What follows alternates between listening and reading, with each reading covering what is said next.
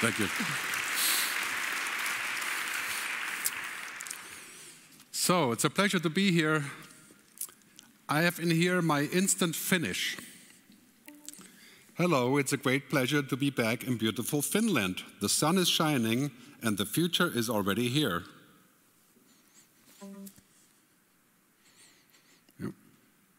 Hei, se on suuri ilo olla takaisin kauniissa Suomessa. Aurinko paistaa ja tulevaisuus on show täällä.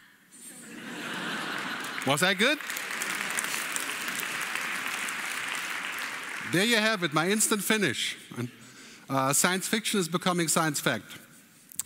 The other day I was in Japan at a sushi restaurant and I had a conversation with the sushi chef for half an hour in Japanese and I spoke in German. As long as we keep it simple, it's working. This kind of thing is truly Star Trek. You can expect in a few years we'll be able to speak fluently, more or less, not like we're speaking, but very close, in what, 30 languages. Imagine what's going to happen to call centers. 21 million people work in call centers. 95% of those, the machine can probably substitute, at least sort of on the superficial level, right? As long as compassion isn't required, which you're not getting from call centers anyway. so uh, the future is here, it's, our, it's, it's everywhere. We just have to pay more attention to it. You know, and sometimes I say so uh, jokingly, there can be experts on the past, but you can't really be an expert on the future. Right? You have to have imagination. That's the most important skill. So I'm going to start with this and saying uh, this is really what I do, it's my job, right? Is to listen, to observe. My job is not to predict. I think that's extremely difficult. I mean, just 20 years, you can say that that's a tall order to think about 20 years. Right?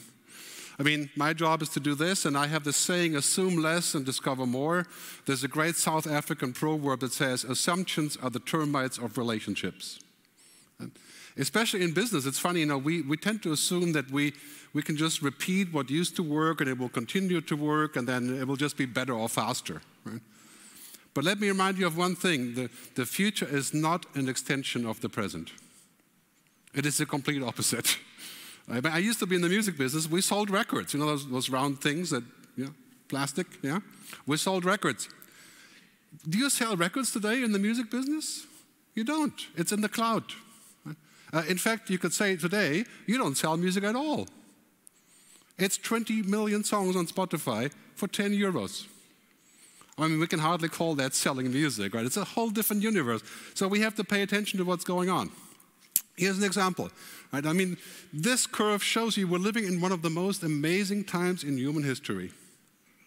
I mean, the things that are becoming possible robotics, uh, genome sequencing, energy storage, solar energy, self driving cars, speaking machines, uh, you know, all kinds of things that we use every day now, making free phone calls and having music in the cloud and any TV program we want. I mean, it's, it's exciting. And then we have stuff like this where we say, wow, human genome sequencing, the, the cost of DNA sequencing used to be $100 million, now it's $850. In five years, it'll be $5. In 10 years, it'll be completely normal. You can have your DNA sequenced on your mobile phone in 10 seconds while you're arranging the next date. So if you're looking to quickly get an answer on your healthcare problems, that will be boom, just like that. Mind-boggling future. And also, of course, quite scary when we look at these, what I call the game changers in, in my book. Uh, it's basically eight different things. There's the cloud, data, the Internet of Things, thinking machines, artificial intelligence, quantum computing, the blockchain. I mean, it's enough to make your head spin when you're not deeply inside, like, oh my God, this is all happening at the same time. And they're all coming together to create new possibilities. I mean, think about Airbnb, for example, right? how Airbnb wouldn't be possible without the mobile phone, without social media, without the cloud, without intelligence. If you're looking to rent your place on Airbnb, you don't have to guess how much it's worth. You let the artificial intelligence find out all the places around you to determine the price for your rent in four seconds. I mean, I used to agonize for hours about how my apartment is going to be rented for how much. Now it's four seconds. Right? I mean, mind boggling. So these game changers are what we have to understand in the future. There's eight of them, and, and uh, we can look at more detail when we uh, talk about the other slides later. So basically what we see here is a, a move towards the future to where we can safely say that I sometimes call this the digital transformer, where everything around us is becoming smart. You know, 90% of people that want to talk to me, they want to talk about digital transformation. it's so funny that we always joke around the office and say, what is actually digital transformation? But basically, uh, just to sort of use the more cartoon language, you know, you stick in the old business, you put it in the transformer, and out comes the smart business. So that is smart banking, that does exist. Yeah. Smart insurance, smart media, right? smart cities, smart environment, maybe even smart politics, yeah? Maybe even a possibility of connecting everybody there. I mean, we're looking at a world that's totally different, smart everything. That's the low-hanging fruit. And here's the challenge. When we talk about the world getting smart, there's going to be a lot of wisdom required to figure out what do we do about the data? How do we keep it safe? Of course, you know that everything that connects is a benefit, but when it connects, it creates also risk. We can't have one or the other without having them both together. Right? I mean, this is a huge challenge. I always say that the more we connect, the more we must protect. And that's a strange thing to say, obviously, because it's hard to be connected and then protect. You know, right now we're connected with maybe mobile banking or media or music.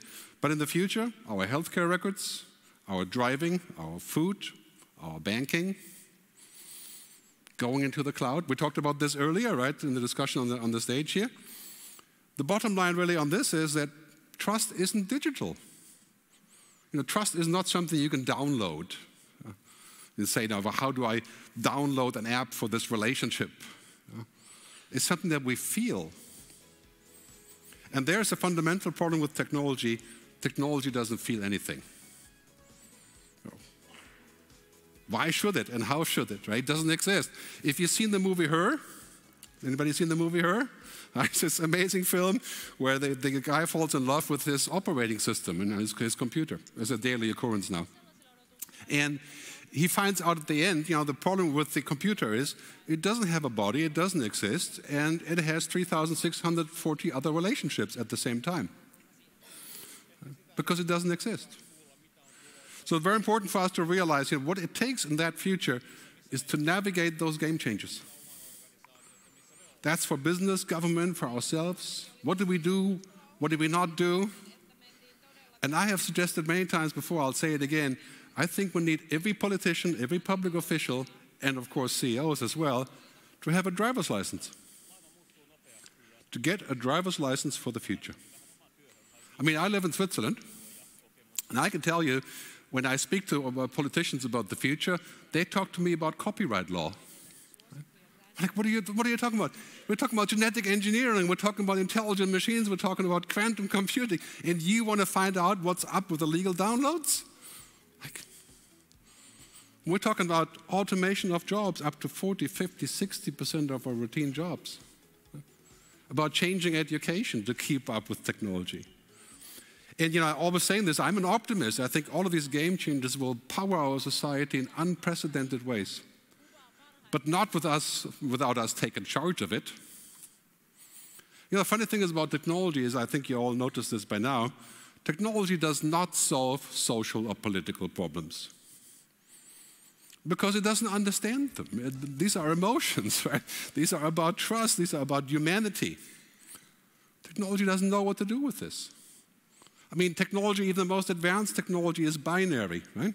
Yes, no, yes, no, if this, then that, input, output. Right? That's not how humans work. In fact, you could say that technology has made social political problems worse, amplified them, as we see with Facebook and social media. I'll comment on that later. Right? So that's something we have to keep a very good eye on. Which way are we going? Do you know how to navigate these game changers? I mean, if you're a business person, then this is just your own business that, that may be at issue here. But if you're running a, a state, if you're, if you're the mayor of Helsinki, You're going to have to really understand this because I'm not, I'm not talking about 50 years here. I'm talking about five years, 10 years, maybe 20 years at the most. We're all going to see the rise of technology to be infinitely capable in our lifetimes. Even me. The kids of our kids will live to be between 100 and 120 years old because of technology. And there's already about 40 companies in San Francisco and the Bay Area talking about the end of dying. I mean, this is kind of a bizarre story, right? But this is real. This is a business proposal. How much would you give to live forever? So, uh, chapter three in my book uh, is uh, about the mega shifts, and you can download this entire chapter for free at megashifts.digital. And basically, what it says is that you know we're not living in a world where transformation is just digitization, or it, it's actually 11 things coming together at the same time: robotization, uh, virtualization, automation, platformization, which I'll talk more about. They're all coming together. And when you have this many things moving, you're not going to find an objective yes or no answer. I get this question all the time is this right or is this wrong? Is AI good or is it bad? Well, the answer is, of course, it depends. I mean, we're talking about technology here. Is a telephone bad? A telephone is bad because it can lead to the fact that you won't go over there and make a personal visit. That's what people argued about the telephone. Technology always has both, you know, both parts to it. And we have to keep a very good eye on this. So now you have businesses now moving into domains where they don't even belong, like Facebook is now rumored to offer a cryptocurrency, a digital currency. 2.5 million people are going to be connected on Facebook money, digital money. Now we have the biggest companies in the world getting into healthcare, Amazon and JP Morgan. Now you have, of course, Apple getting into healthcare. Everybody is getting to, into everybody else's turf. And now you have all these things happening. For example, BMW and Mercedes are teaming up for mobility. This is the lesson that we must learn for ourselves. Look outside of your current domain. You want to be successful in the future? Look outside. The future competitors for a bank or for whatever is not going to be the other banks. I mean, go back to the music business. Who is in charge of the music business now? Sony Music, EMI, Universal, so they still hold the licenses to, you know, Michael Jackson.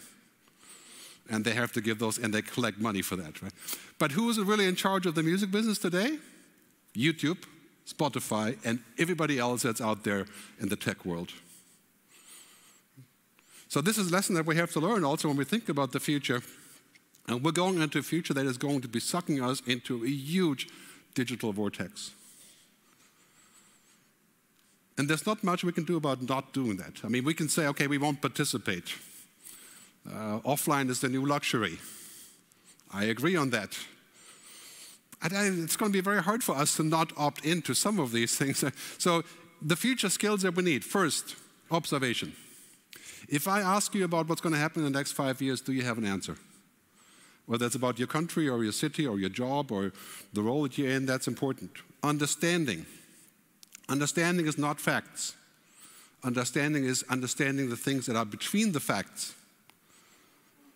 Having the context. Knowing more than the machine. Imagination. Einstein once said imagination is more important than knowledge. That was very easy for Einstein to say. He was a genius. But what do we need our kids to know? I mean, our kids are going to grow up in a world where some statistics say 70% of all new jobs haven't even been invented yet. And 50% of those jobs aren't going to be jobs, they're going to be gigs, called in the gigs economy. I mean, what do our kids, our kids and ourselves, what do we need most and foremost? Creativity, imagination, intuition, understanding, you know, the human part of what we are. Creation. If you're going to teach your kids anything, this would be it imagination and creativity. Because that's every job is going to require this, everything else will be done by machines. You can see that clearly shaping up and with which way it's going. That's what I call the future mindset. And I think this is what we have to have here in Europe. You know, we used to think that Europe is behind. I mean, I lived in America for 14 years, and everybody in America used to laugh about Europe, you know, how slow we are, can't agree on anything. Uh, and, you know, the slow democratic process. So, however, now today we're finding out that actually there's one great thing that we have here in Europe, right? And that is that we're all humanists. We all want to be human, basically. You can't say that about Silicon Valley. You'd be surprised to hear they want to be superhuman, not just human. So the great thing that we have in Europe is that if we take the future mindset and we put that with humanity, I think we have a great story for the future. That's why I'm such an optimist about what I call the United States of Europe. That sounds crazy, right, to say that today, looking at all the trends that go against it, but I think this is really important. So, looking in the future, this is really what's happening. Humanity and technology are converging. I mean, essentially, my mobile device is my external brain, my second brain. My music isn't there, my news isn't there, my dating isn't there if, you, if I was to do dating, my banking, and so on. And for some of our kids, it's the first brain. It's all they use, right? Just everything is in there.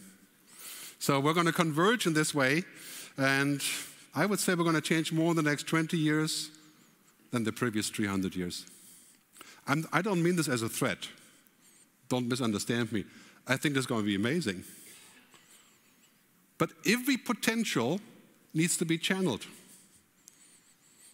Every technology that's amazing needs to be put in the context of why it's amazing and what it's supposed to do.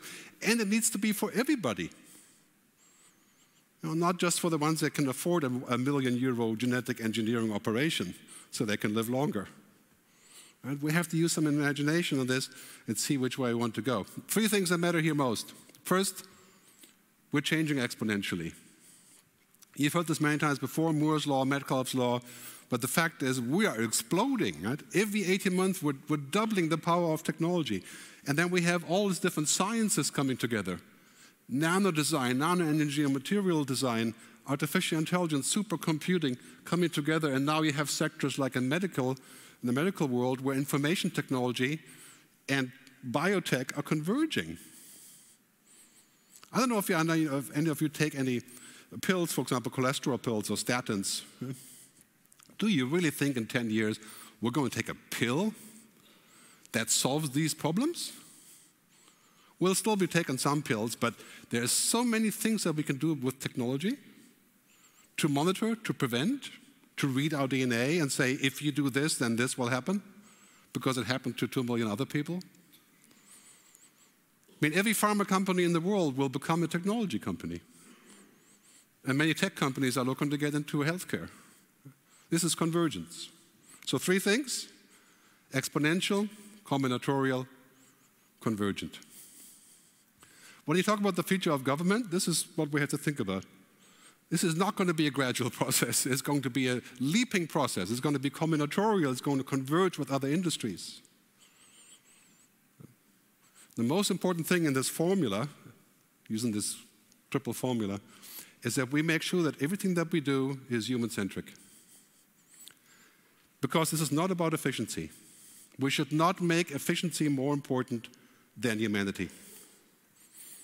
This is the great thing that we always do. You know, we look at technology and we say, oh, this is much more efficient. So I use Tinder, I can just swipe and boom, I have a date, you know?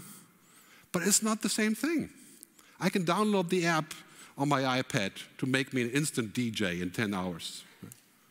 But that's not the same than being a musician that has studied for 10,000 hours. It doesn't mean it's bad, it's just different. We have to understand how this comes together because this is really what's happening, right? Science fiction is becoming science fact. I use this as an image of saying that we're essentially becoming sort of superhuman. I don't know if you've ever tried, for example, the HoloLens virtual reality glasses. You feel like when you wear this, you can, you can see the world at a thousand times as fast.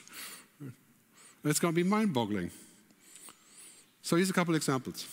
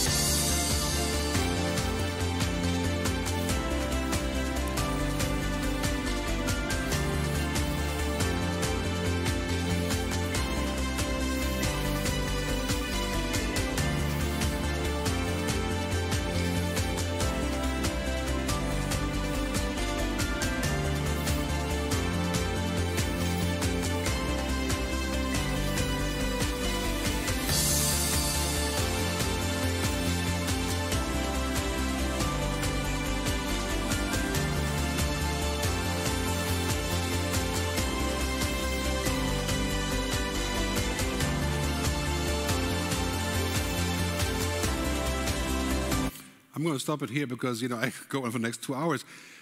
Basically, the way that we're looking at this, we're saying, God, this used to be, you know, this used to be straight out of Star Trek. Right? I mean, a, a, tube that goes into, a, train that goes into a tube and goes 800 kilometers an hour with a Hyperloop without crashing, connecting Abu Dhabi and Dubai, that's already being built. I mean, mind boggling. So many people look at this and they're saying, oh my God, the future is going to be terrible. Because it's all happening, it's overwhelming. Right? The last three years, I talk to people when I'm traveling, and almost everybody says the future is not going to be good. This is not just because of Donald Trump, right? Uh, or the Brexit. There's two major arguments. One, climate change, which is a huge challenge for us and something that is unavoidable for us. And the second one is the robots will come and then they will take our work, and after that, they'll kill us. Huh? I mean, this is a serious concern. We talked to a 25 year old kid that's saying, What should I learn? Because the bots will learn it all anyway. Maybe we'll just, you know, become a, a robot repair person. What you don't know about your garage door will kill you. It's official. You can't eat wheat bread. Someone's, Someone's been, been, stealing, stealing packages. packages. They call them porch pirates. Porch pirates.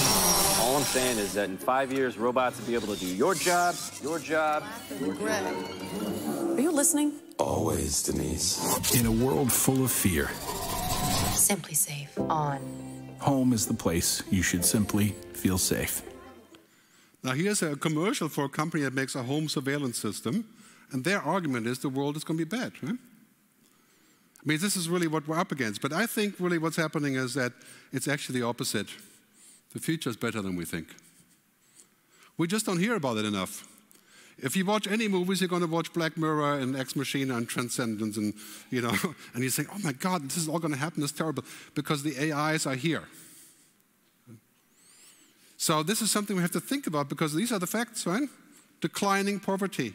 Hans Rosling uh, talked about this a lot in his talks, right? Uh, rest in peace. Life expectancy increasing. You know, we're all going to live to be close to 100 in the near future. Child mortality basically not going towards zero, but very close. Solar panels, that's been clear for a long time. And what's even more important, of course, the cost of batteries. I mean, I could give you a hundred facts like this and saying, well, the present is already better. and so let's not worry too much about that because the bottom line really is this in this world, and there's a bunch of things that we're going to achieve in the next 20 years, and they sound really crazy when you think about this. We're going to solve food, we're going to solve water, we're going to solve energy, we're going to solve diseases. There's one thing we can't solve this way, and that's this, right? How we govern wisely. And that's your job, right? You're, you're doing this here. That's why we're here. How do we govern wisely? Because we can't download that. Yeah? Wisdom is not something we can download. Trust is not something we can get on an app or on the internet. These two things, data and artificial intelligence, are changing our world completely. Today, if you talk to anybody in business or otherwise, it's all about who has the data, who makes money with the data, who has the intelligent machines. I mean, I heard earlier about Europe becoming sort of a, a leader in this issue of AI. I think that's, a, that's going to be a tough one. but, you know, clearly, I mean, this is, uh, McKinsey says, a $150 trillion economy. Just those two things. And it's US and China, that's it. Our researchers tend to go there to do this work. And here's the fact of you know, what's happening in this, what I, what I call the platform economy. Eh? The companies that use data and artificial intelligence are becoming empires, you know, platform companies, more powerful than Standard Oil. Many of them are my clients, so I have to be careful. But think about this for a second, where this is going to take us. Look at these numbers. These are the top 20 platform companies, technology companies. The top four of these guys have more money than the GDP of France. I mean, basically, they could buy France. I don't think they're thinking about that, but I mean, this is the powerful situation. Are we going to see regulation here? Absolutely. I mean, these companies are more powerful than oil and gas ever was, or banking.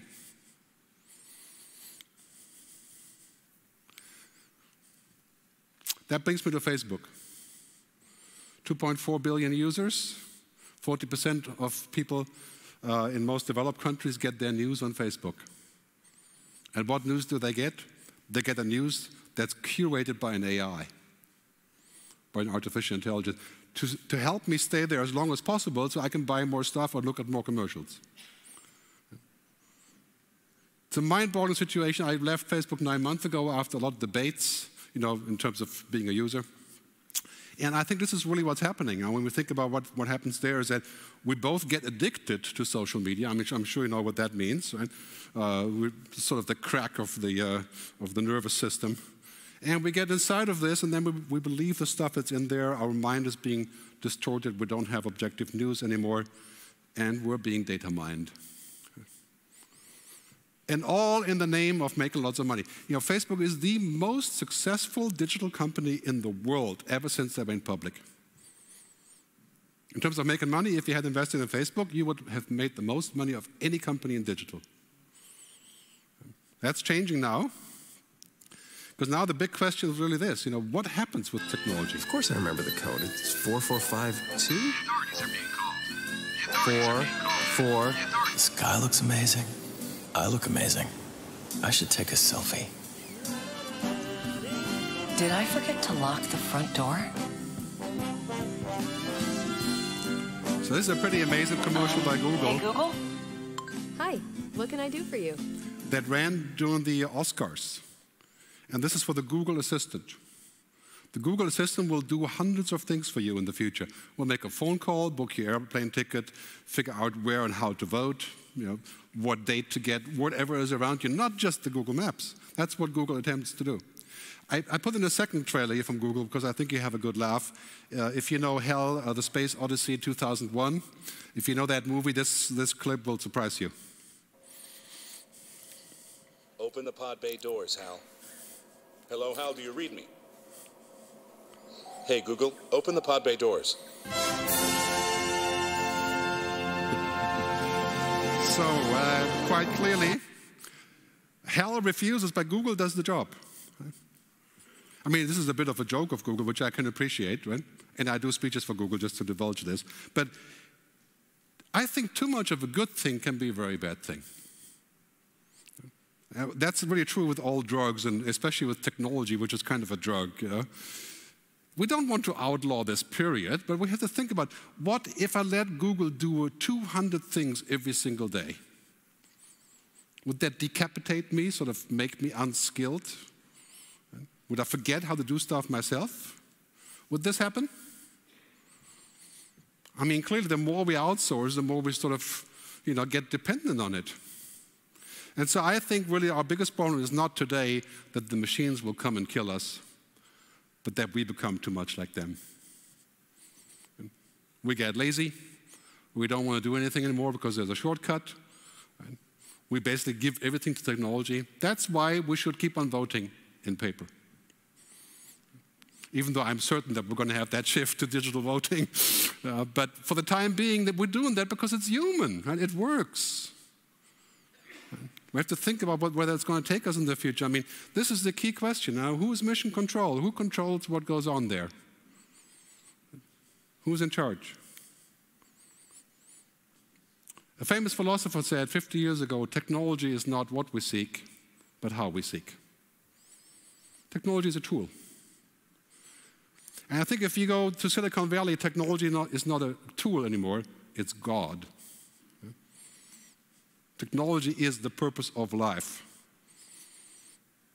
And so I, hear, I, think in Europe we have this belief that we want to remain human, we want to technology serve us, and, and this is what we have to do. We have to rehumanize technology, make it human again. If Facebook is serious about changing, they should hire 30,000 journalists. God knows it wouldn't even matter to their bottom line if they hired that many journalists. But Facebook is intent on building a machine. So humans are in the way. We're just the fodder for the advertising. Tim Cook from Apple said the other day at the European Commission meeting, he says technology can do great things, but it does not want to do great things. It doesn't want anything. How should we expect technology like the cloud or quantum computing or genome engineering or intelligent machines? Why would we expect them to want anything? This is a machine. It doesn't think. We can call it a thinking machine, right? It, it, does a certain kind of thinking, right? But it's not like us. I mean, the stuff that we can do as humans is like this, yeah? If I meet you later, it takes 0.4 seconds for me to measure you and for you to measure me in 0.4 seconds without saying a single word. That's called you know, generating trust or not. Machines don't do that. So this is really important for us to think about this when we live in a world where constantly machines are telling us what we can or, or cannot be doing. We should use that as a tool. I use TripAdvisor. I love TripAdvisor. But do I go eat everywhere that TripAdvisor tells me? That would be a disaster. It's just a tool. It's a hammer to which I use to build something. I don't want to end up like this. I don't know about you, but I think this is the question of not saying yes or no, but saying, you know, until here and no further. And this is why we also need to think about social contracts, regulation, and so on. This is very much like the environmental issues that we're facing. I call this digital pollution. It's basically like this, you know, all the stuff that we're doing is causing us to see things differently, causing isolation. The most suicides, the highest suicide rate in the world is not in some place, in some country, it's the power users of social media. They're the ones who kill themselves the most. It's doing the opposite that it's supposed to be doing. I mean, when you think about this for a second, we have to address the externalities of technology, the side effects. Because right now, I can tell you, now today we're here and we're talking about these issues that we discuss, but in 10 years, these issues will be a thousand X. I mean, imagine a world where you're not longer just addicted to your mobile phone, but to augmented reality, to wearing glasses that make you super smart and super fast. That's coming a, a world to where you work at home in a virtual reality room. You don't have the human contact anymore. So I think we need a stronger focus on ethics, values, social contracts, corporate accountability, balanced regulation. And this is truly a job for the wise man, women.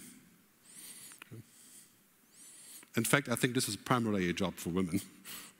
because it requires a certain emotional intelligence that we have to learn. And we can already see that, right? Politicians are getting younger around the world. We're having more women. This is a good trend that we need to uh, support and amplify. Uh, we talked about artificial intelligence before. Clearly, every single company in the world is bent on using artificial intelligence to reduce the overhead, to make it faster, quicker, you know, more convenient. And I work with a lot of big multinational companies. And I can tell you between the lines, or you know, basically on the line here, uh, their primary uh, purpose for doing this is to save on salaries and reduce headcount. That's the primary purpose. Automation, reduction of staff, because humans are expensive and they mess up. They're a pain. So here, I would say the first three quadrants, assisted intelligence, you know, devices you speak to, automation, augmented. I think most of that is pretty interesting and probably quite good. The fourth one, having machines that can be like us, it's a very bad idea. Giving uh, robots human rights, right, that discussion is already going on. Acting like those can be our lovers, machines that we built for those purposes. That's taken it just a tiny bit far, I think. And that relates also to the second biggest threat that we have and opportunity, genetic engineering. You heard about the Chinese doctor, right? Three months ago, who's now in jail, who was the first guy ever to change the human genome, the germline, in two babies so that they wouldn't get an HIV infection from their father. And it worked. I mean, we're talking about fundamental changes. If we don't agree on what we want, it would be sort of an arms race. But on the positive side, think about all the amazing stuff that we can do here. We can heal diabetes, we can prevent Alzheimer's, maybe even cancer one of these days. 400 million people in the world suffer from diabetes. Could that help? Yeah. But it could also build a super soldier, something we have to think about. So, really, my solution to this is I have proposed many times we need a digital ethics council. We don't just need people that deal with business and how we're going to be faster and transform our businesses. This is transforming our lives. The question really is are you going to be on Team Robot or are you going to be on Team Human? Can you make robots and be on Team Human? You can. But the question to me is how do we get this done?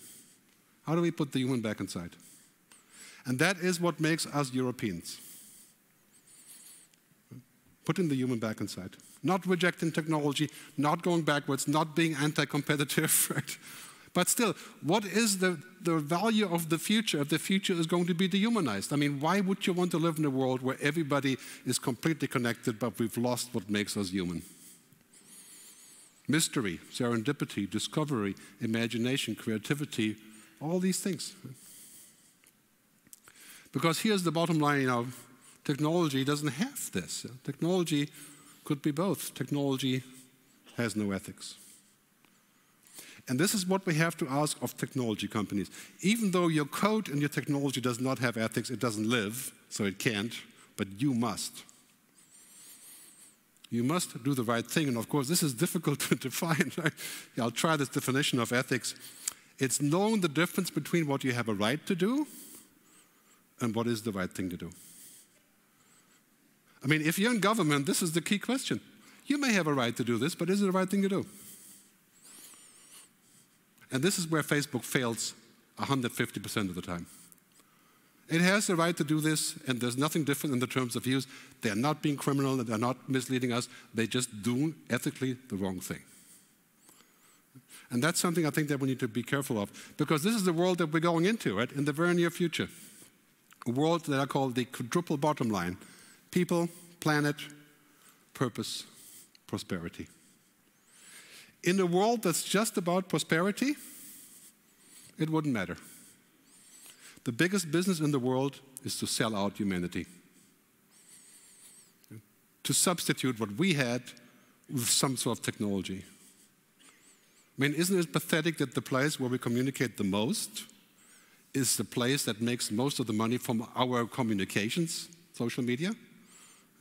We don't hardly communicate in person anymore. I mean, many people are like, they have more relationships with their screens than they have with themselves, with others. So, this is something we have to think about. Where are we going with this? And I think it's a world that's also going away from this old fashioned approach of, you know, it's all ours to a new ecosystem. You see companies like Patagonia and Unilever and others going in this direction. I think we're going to have a stock market for these companies in the future. Maybe this is a good idea for Finland to start such a stock market. A company that's measured by four different points, not just by one. So if we move in this direction, I think a new economic logic is evolving and coming. I'll give you another quote from Tim Cook because uh, this talk was pretty amazing. So just very shortly. And those of us who believe in technology's potential for good must not shrink from this moment. Now more than ever, as leaders of governments, as decision makers in business, and as citizens, we must ask ourselves a fundamental question. What kind of world do we want to live in? That's pretty amazing for a CEO of a tech company. You can argue, of course, many things about Apple. I will not get into the details here, but this is the question what do we want? In 10 years, we can be anything because technology will be able to do whatever it is that we want to do. This is the question we have in countries in Europe, and we have to get together to define what that is. Do we want to be human, or do we, do we want to merge with a machine? Do we want to compete with China and have faster soldiers because we have genetically engineered them? What do we want? With artificial intelligence, it's quite clear machines are becoming intelligent. But fear not their intelligence. I mean, when we think about this graph here unfolding, it's quite clear that we're not going to keep up with them. Technology is exponential, and we are not. I mean, even if you get to be 100 or 120, we're just not going to keep up with the machine. I mean, there's no way you can memorize Wikipedia in 12 seconds. But what's the difference there? I sometimes say when human intelligence meets artificial intelligence, it's the end of business as usual. And fill in the blanks there, it's the end of education as usual, the end of politics as usual. Because now we have to rethink what we are and what we want. Good news is this one human intelligence is a lot more complex than computing. I think you all know that in, uh, instinctively. This is what machines do. They have infinite potential to compute any number of, of information. But human intelligence is social, it's intellectual, it's emotional, kinesthetic, our body, it's musical. Experts say it's about 10 different types of intelligence. That's why it's so hard to test intelligence. Will a computer ever have emotional intelligence? For that, it would have to exist. Do we want a computer to exist? I kind of doubt it. But I think thinking machines, as my colleague Paul Saffo says, we should not mistake a clear view for a short distance. These machines can think because they can look at data and so, but not like us. You know, when you think of your husband or your wife, you don't go to the back of your head and you pull out a JPEG and say, oh, that's my wife. Right? It's a little bit different than that. That's what a computer does. It's really quite different. So in this future, we have to keep reminding ourselves what machines do and what we do. Computers are very good at, at navigating the whole space, but they cannot get right away to a complex point like we can because of our perception, because of our creativity, because of who we are as humans. And computers don't have the ability to understand things apart from data and information. Data and information is not knowledge, it's not wisdom, it's not understanding. Nevertheless, these tools will be extremely powerful. Exactly for that same reason, because we can do all these things totally instinctively and also very energy efficiently with our brain that machines can't do. So when you look at movies like this one, Take it with a grain of salt. Don't base your estimate of the future on this. It's entertaining, but here's the future of AI boring, nuts and bolts, data jobs. I mean, when you see the difference between those two, this is what companies actually do with AI. Right? Image recognition, stats, and you know, all this. It's, it's far away. So we should not think about that as a threat right now. We should think about it as a threat in the future. But I think really it means for us that in this world, the world where we can get more information easily, we have to become more human, not less. We are not going to compete with computers on being smart. I used to think I'd like to be this. You know, smarter, better, faster, not sleep too much, and you know, not waste all that time on all the other stuff. But now I think like I think it's really important for us to become more human, not to become smarter, but to become more human. That's our leg up in the future. If you can be both smart and more human, of course, you know, that's, that's the holy grail right there. More human, not less. If you know the movie Blade Runner, there's a great scene where the guy who creates the replicants says, you know, this is where we can create machines that are more human than human. Remember that quote from Blade Runner? I think this is really important for our future to think about this way. And this is one reason why we should not focus in business or otherwise too much on this efficiency. I mean, if it's all about efficiency, we wouldn't exist. We are the most inefficient thing that you can possibly imagine. We change our mind, we lie, we make up stuff. We have foresight, we have visions, we have imagination. We're not logical. So if the computers will take over and they're efficient, then what, there's no room for us there. Right? So efficiency is really not, I always say efficiency is for robots. By all means, in our business, we should strive for efficiency. But efficiency is not the purpose of technology. it's to reinvent what we do and how we do this. So to summarize, in this game that's queuing up for us, we have the same cards we've always had. Humanity, ethics, values. I think we need to invest as much in humanity as we do in technology. And this is how we're going in Europe to keep our spot in the global economy. We're not going to keep it by selling out our humanity. We're going to keep it by being more human, but supported by technology and science, of course. Our skills have to change. The old skills that we used to have that we learned in business school, I didn't go to business school, but you know, I estimate that that's what you learned there. And now we have new skills like critical thinking, emotional intelligence, cognitive flexibility, storytelling. You know, when you talk to a human resource manager these days, you know what they're looking for in the new hires? Real people. Emotional people, people asking questions. This is the most powerful thing, and this is what our kids have to learn. And here in Finland, you know, you have some pretty advanced uh, uh, ideas about education that are already reflecting this, which is quite interesting. You know, we're pretty far away from this in, in Switzerland ourselves. But so this is the balance: right? EQ, IQ. Do you really think you're going to prevail in a world where, where robots and machines have an IQ of one million by boosting your own IQ? How much of that is it going to be? Not to say it's not important, right? But we have on one hand STEM, and we always say that our kids should learn how to program. But really, what they should learn is this, right? What I call HECI humanity, ethics, creativity, imagination.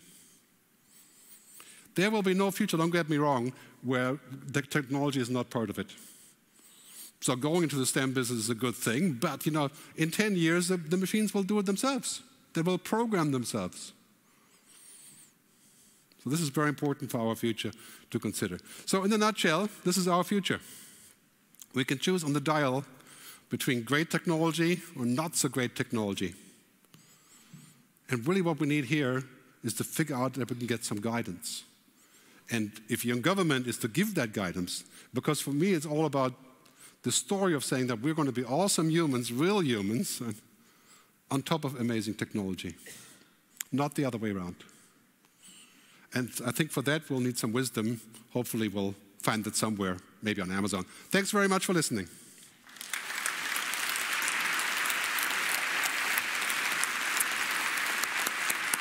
Thank you very much. Amazing stuff. And the question is, would androids dream of electric sheep or not? They would. Could they do it? Could they do it? Perhaps not. That, that's, that's the good question. Uh, uh, so, so mean and, and, and making us more human. So basically, when we're doing it, we should all study, for instance, philosophy. I think we need to go back to studying things that are not immediately monetizable. Mm. Like philosophy, instance, arts, yeah. music, sports, all of the things that basically are the things that we can do best. I think today, if you're a programmer, you will have a job for the next five, seven, maybe even 10 years if you're a good programmer.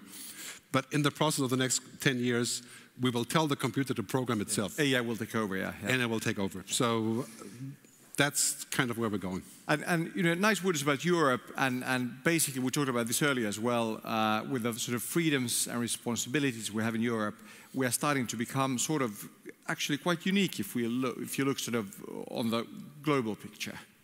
It, it's not that common in the world to yeah. have such a strong base for the freedoms and responsibilities. I think what used to, what used, uh, used to be a disadvantage for us uh, which is to be slow and to have a past and to think about things yeah. and you know made us slow. That is now a huge advantage yeah. because basically all the fast stuff can be done by technology. Yeah.